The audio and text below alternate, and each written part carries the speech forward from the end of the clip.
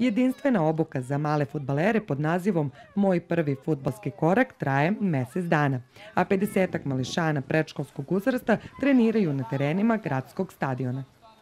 Naučio sam da vučem konopac, e, da se dodajem i, i tamo neke druge vežbe. Da driblam, da igram futbal. Sviđa mi se kad smo vukli konopac, kad smo se takmičili ko će da pobedi. Kroz školu futbala za sedmogodišnjake prošlo je blizu 300 knjaževačkih mališana, a tehniku najpopularnije igre na svetu oni uče pod nadzorom licenciranih trenera. Nadam se da, da će puno dečaka iz ove grupe i ove godine da se priključe futbolskom klubu Knjaževac, odnosno školi futbolskog kluba Knjaževac i da će nastaviti sa daljim futbolskom edukacijom.